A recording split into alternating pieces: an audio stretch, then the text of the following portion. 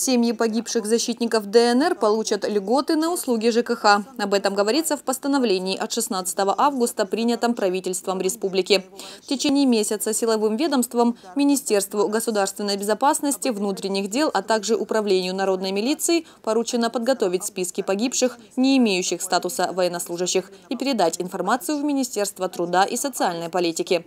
В перечне услуг ЖКХ, на которые будет действовать льгота, документом определены оплата за за содержание многоквартирных жилых домов, холодную и горячую воду, тепло, газ, электроэнергию, а также вывоз мусора. Право на стопроцентную льготу, то есть освобождение от оплаты жилищно-коммунальных услуг, получит только один из членов семьи погибшего – вдова или вдовец, далее в очереди родители и дети. Оформлением льгот для граждан займутся специалисты городских и районных управлений труда и соцзащиты населения. В Харциске УТСЗН расположена по адресу улица Шалимова, 2.